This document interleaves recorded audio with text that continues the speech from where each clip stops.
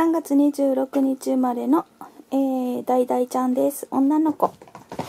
えー、ご飯を今まで食べてたんですけど、お腹いっぱいになったかな？だいだいちゃんはもうね、カリカリも食べて、かなり、あの、優秀ですね、成長が。ねみんなより、いち早く成長してるのかな？体のサイズは一緒なのにね。何が違うんだろうね。いつも思うけど。ねえ何も教えてないのにいきなり、えー、どんどん進んでいく子がいます。ね子育ては楽だけど、不思議だね。みんなまだそんな食べないのにね。えー、ももちゃんも、3月26日生まれのももちゃんもいきなりお魚食べ出しました。今のところ、えー、体調崩れることもないですね。えー、離乳食の鶏肉も食べております。